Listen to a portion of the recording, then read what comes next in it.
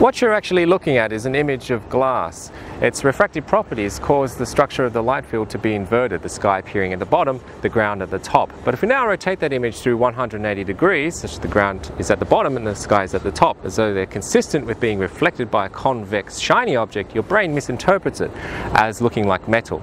This illusion reveals that our brain understands something about the physics of light's interaction with different surface objects, providing us with the experience of material diversity.